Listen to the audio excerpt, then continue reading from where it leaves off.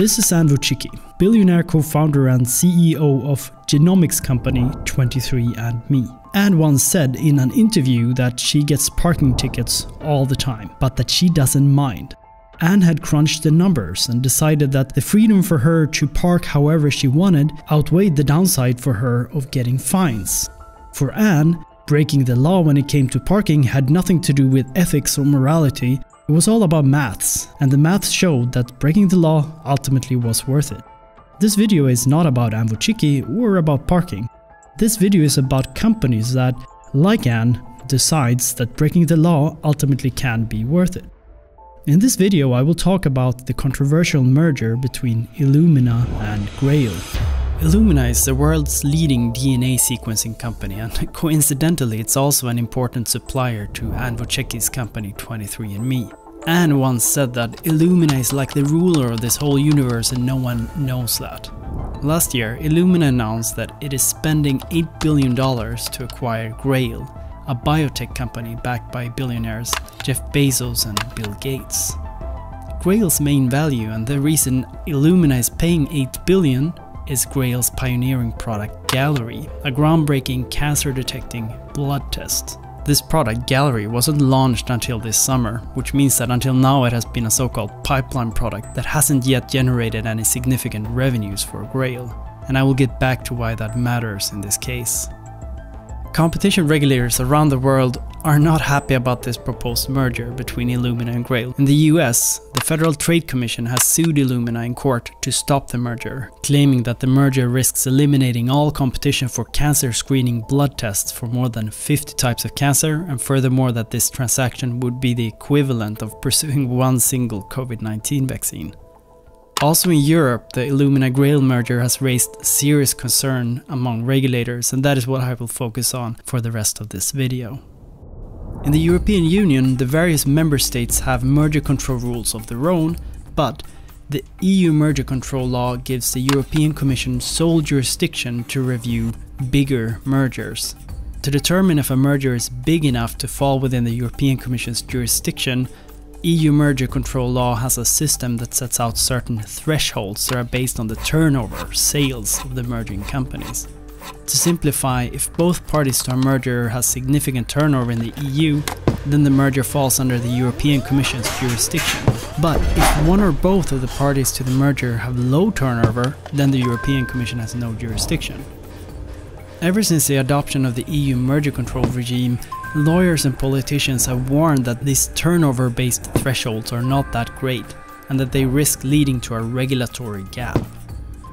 The critics argue that significant mergers that actually do affect competition within the Union can go through without scrutiny from the European Commission simply because one of the parties to the merger does not meet the EU's turnover-based threshold.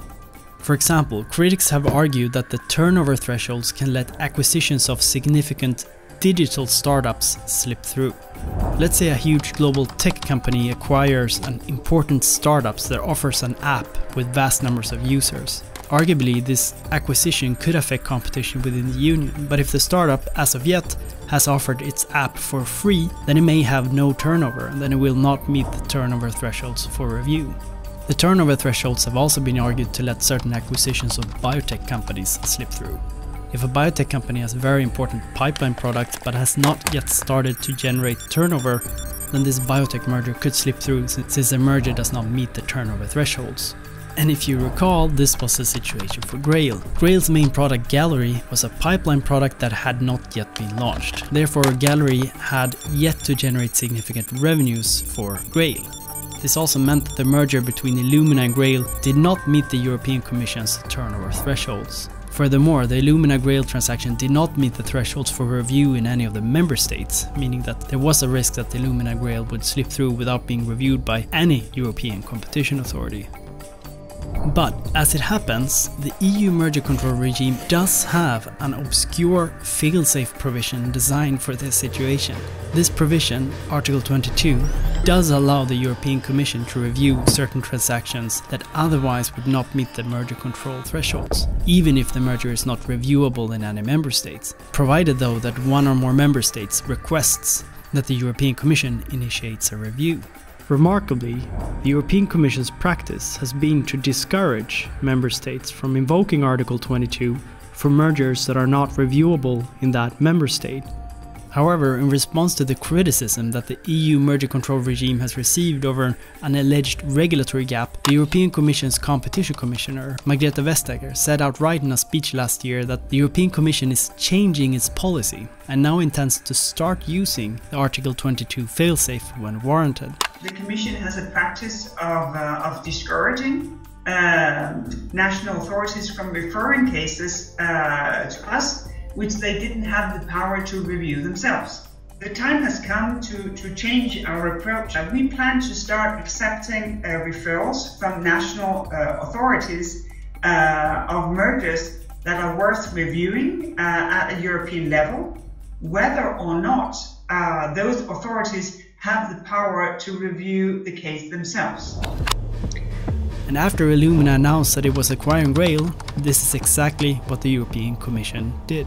Several countries, France, Belgium, Greece, Iceland, the Netherlands and Norway, had requested the European Commission to use the Article 22 failsafe to review the Illumina Grail transaction, and the European Commission pulled the Article 22 trigger to initiate a review.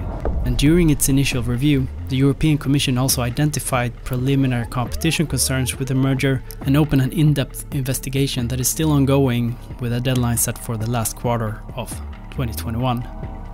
A key feature of the EU merger control regime is that a so-called standstill period applies during the time when the European Commission is reviewing a merger. The standstill means that the merging companies are not allowed to close the transaction before the merger has been cleared.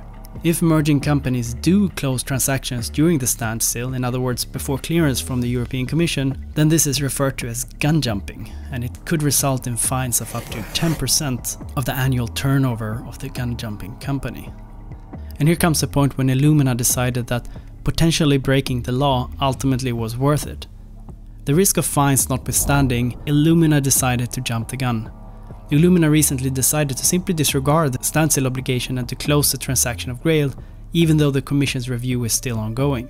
Illumina claims that they will treat Grail as a separate entity until the Commission's review is over.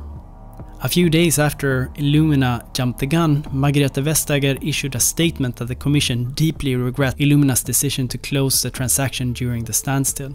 The European Commission immediately initiated an investigation into whether this constitutes illegal gun jumping. This gun jumping investigation will take place independently of the Commission's review of the actual transaction. This case raises a whole host of important and interesting questions. First, arguably it's way overdue to amend the European Commission's strict turnover thresholds.